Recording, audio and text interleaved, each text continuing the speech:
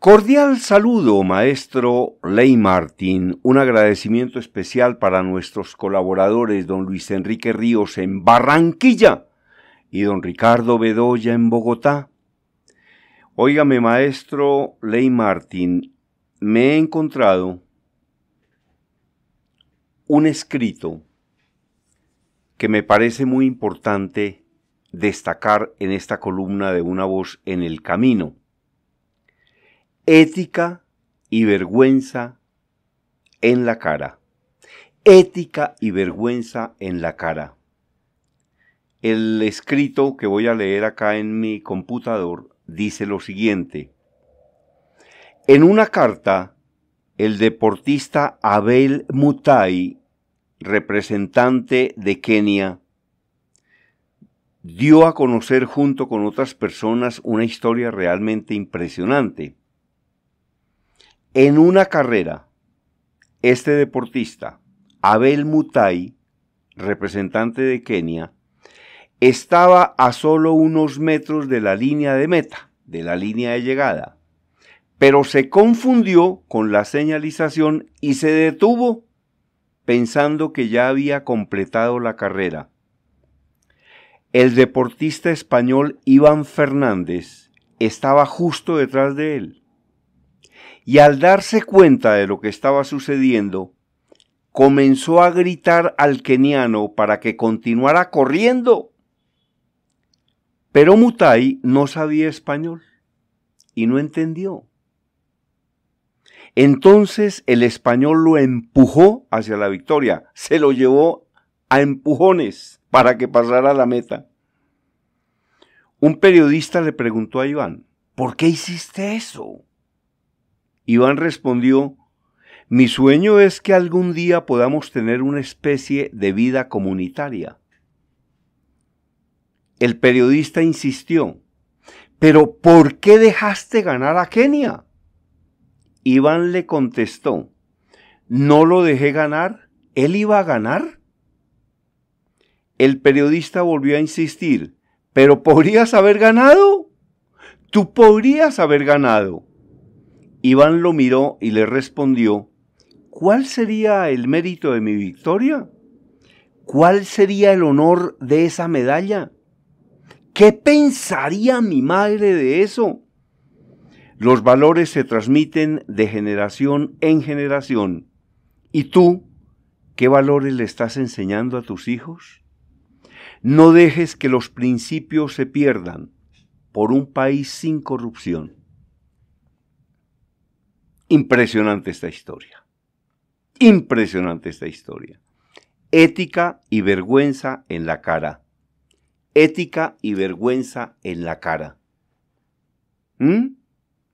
En una carrera el deportista Abel Mutai, representante de Kenia, estaba solo a unos metros de la línea de meta, pero se confundió con la señalización y se detuvo pensando que ya había completado la carrera.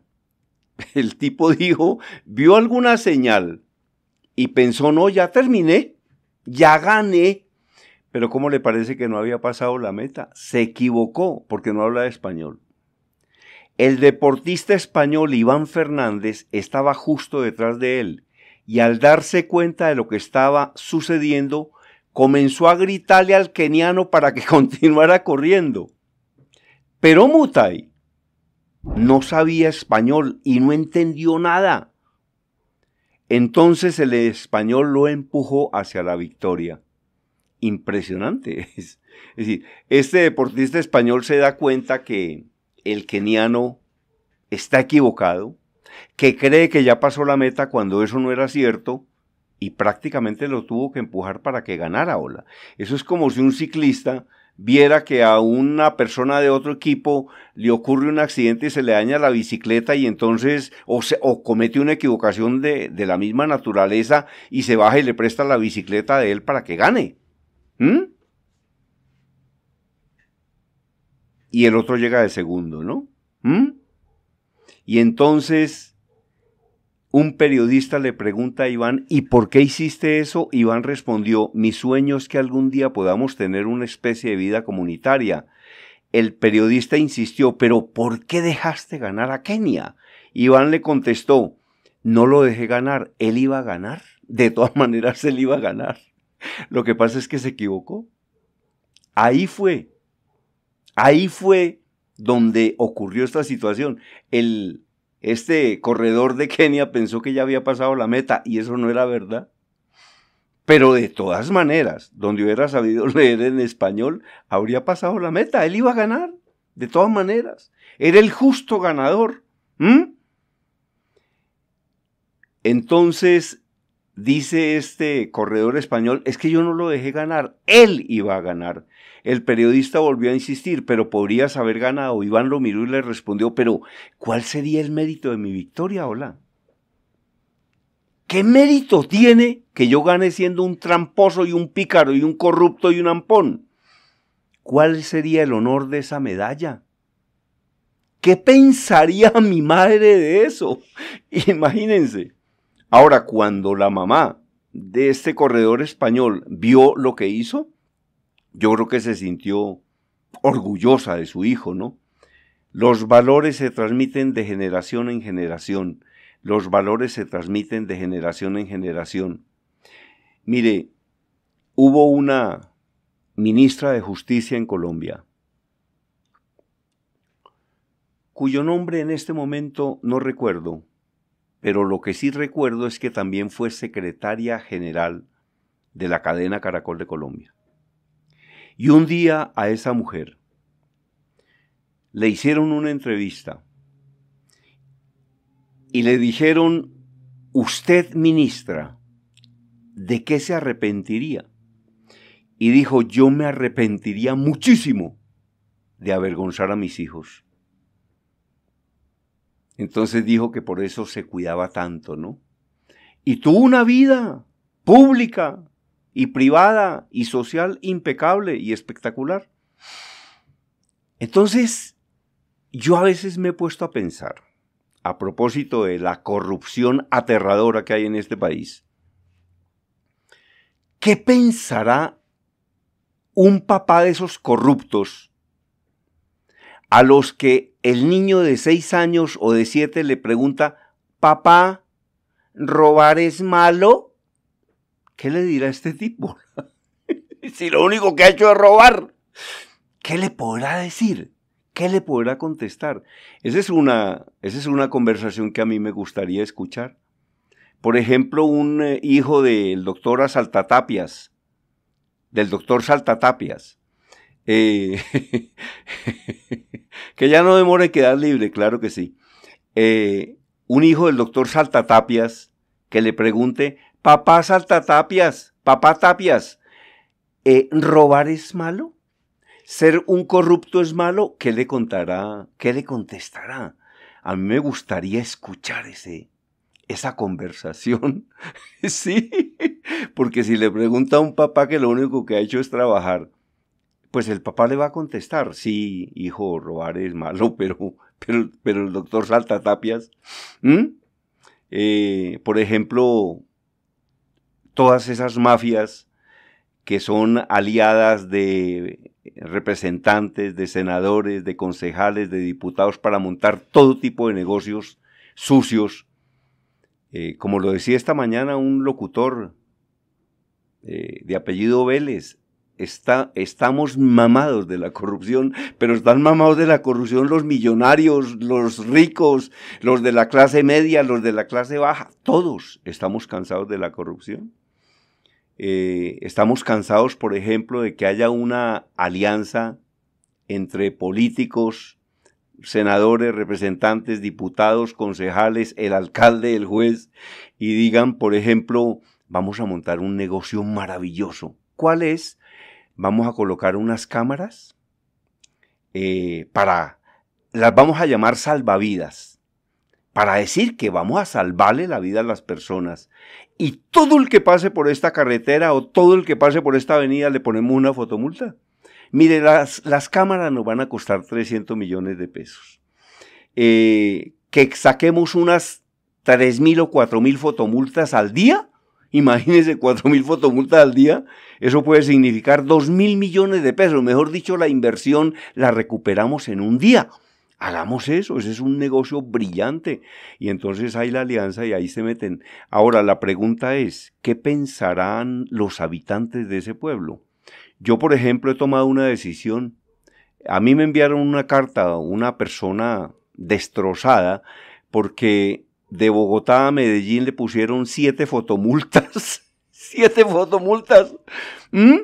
Siete por cinco, treinta y cinco, trescientos. Eh, eh, esos son eh, 500 mil pesos, tres millones y medio de pesos en fotomultas.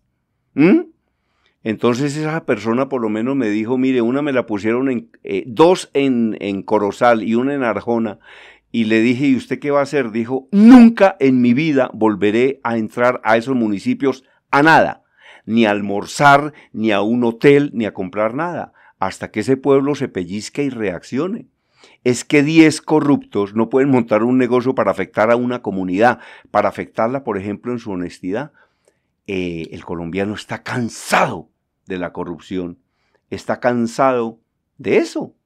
Entonces uno dice, eh, dice, ¿y por qué no pudieron atender a la mamá de este político cuando tuvo COVID? Porque es que las unidades de cuidados intensivos estaban copadas. ¿Y por qué no hay más? Dice, no, porque es que ustedes robaron la plata. Eh, ¿Por qué no mandan a ese criminal que por robarle el celular a mi hija le pegó un tiro en la frente? ¿Por qué no lo mandan a la cárcel? Entonces le dicen, no, porque es que las cárceles están copadas. ¿Y por qué no hacen más? No, es que ustedes robaron la plata. Entonces, complicado el tema, ¿no? Complicado el tema. Pero qué historia tan impresionante la de este, la de este corredor, ¿no? Me voy a despedir con unas reflexiones de el libro del maestro Pedro H. Morales que se llama Memoria Emocional el libro de los 2020 prácticos consejos para vivir mejor física, mental, social y espiritualmente. Y en este caso el maestro nos da enseñanzas de finanzas. Compre todo lo que pueda exigiendo garantía. Compre y exija una garantía. No malgaste su dinero comprando cosas inútiles que no va a usar. sí, por favor. Mire, hay una frase que dice, el que compra lo que no necesita terminará vendiendo lo que sí necesita. No malgaste su dinero comprando cosas que son inútiles y que no va a usar. Lleve siempre monedas o tarjetas para los teléfonos públicos. Cuando el maestro escribió este libro, todavía había teléfonos públicos. Cuando uno viajaba a Tierra Caliente y quería llamar a Bogotá, entonces tenía que ir a Telecom y hacer una cola y le cobraba mil pesos el minuto. Eh, sea cuidadoso con lo que come, con lo que habla y con lo que gasta. Sea cuidadoso con lo que come, con lo que habla y con lo que gasta. Que haya ventas ambulantes me parece muy bien, pero que haya un control estricto para la higiene me parece importantísimo. Yo no me como una empanada en una calle hace unos 30 años. Aspiro a durar 30 más sin comérmela. Pero por una razón adicional, es que yo no tengo sentido del olfato. Entonces, una persona puede notar que algo está dañado por el olfato, pero es que yo no tengo olfato, yo nací sin olfato. Eso era todo por el día de hoy, maestro Ley Martin. A quien quiera este libro de memoria emocional de 2020 prácticos consejos, se comunica conmigo y le digo qué tiene que hacer para adquirirlo digital. A quien desee escribir un libro y no sepa cómo hacerlo, se lo ayudamos a escribir o se lo escribimos completo. A quien desee mis libros en papel consigue 17 en Amazon. Y a quien quiera participar en mi seminario de Así se habla en público, presentaciones eficaces y vendedoras de alto impacto que hacemos todos los meses en Bogotá y que los hacemos también para la empresa privada, me contacta y le digo qué hay que hacer. Mi correo electrónico conferencista hotmail.com, WhatsApp 322 218 7567. Yo hablo porque estoy vivo y estoy vivo gracias a Dios. Desde Bogotá, la información la presentó, gracias a Dios, Germán Díaz Sosa.